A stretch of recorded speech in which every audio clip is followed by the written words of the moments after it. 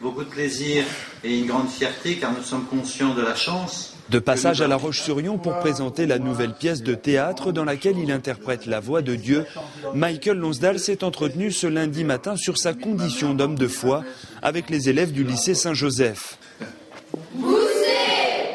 Toujours très attaché à rencontrer la jeune génération, il a ensuite animé une masterclass au cours de laquelle les élèves qui présentent l'option théâtre au bac ont pu faire profiter de leur travail en quête de conseils. C'est toujours euh, dans cette optique de s'améliorer dans, notre jeu et puis euh, bah, après, plus tard dans notre carrière, on se souviendra euh, qu'à un moment donné, on a rencontré Michael Lansdal et qui nous a donner ces conseils-là euh, et, ça reviendra forcément et c'est une rencontre, je pense qu'on n'oubliera pas. Il faut être tenace parce que des fois c'est dur. Il y en a qui rament pendant 2, 3 ans, 4 ans et il ne se passe rien de positif.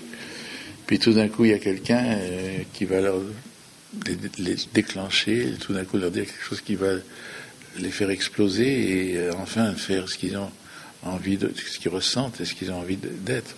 Aujourd'hui, même si les codes théâtraux sont bouleversés, même si l'improvisation dans le texte et l'interprétation tend à remplacer progressivement la notion de par cœur, l'envie d'y arriver pour un acteur doit être viscérale. Car comme le dit Michael Lonsdal, le métier d'acteur ou de comédien, c'est le travail de toute une vie.